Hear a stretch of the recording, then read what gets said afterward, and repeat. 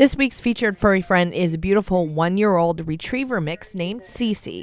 CC was transferred to the APL from another shelter where she'd been recovering from a broken leg. CC has been in a shelter for half her life, and no one can quite figure out why. She's sweet, smart, playful, and always the first dog to greet visitors who walk in the door.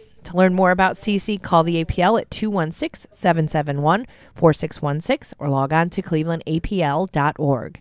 Check back next week for another featured furry friend from the Cleveland APL.